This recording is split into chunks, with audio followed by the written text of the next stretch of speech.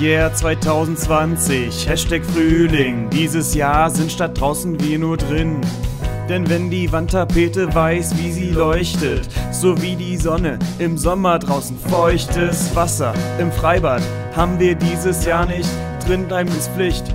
Doch wenn wir uns dran halten, schützen wir die Alten und Kranken, Schwestern und Brüder der Nation.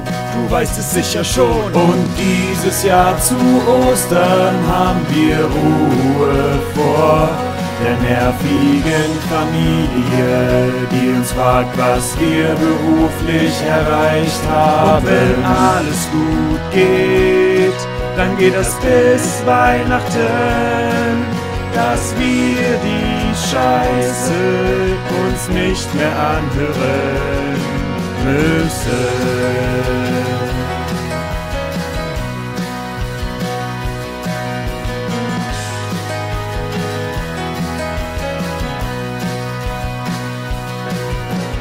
Ah, yeah, 2020, Hashtag Frühling, statt stets in den Puff zu gehen, haben wir einen kostenlosen Pornhub-Zugang. Statt einer teuren Frau gucken wir uns einfach Tausende an. Die Digitalisierung macht so viel möglich. Wir müssen nicht zu unseren nervigen Kollegen. Stattdessen sitzen wir im Korb ohne Hose und reden nicht mit diesen Spasten. Wir lassen uns von der Hausarbeit ablenken. Im Sommer sieht die Wohnung dafür aus wie geleckt.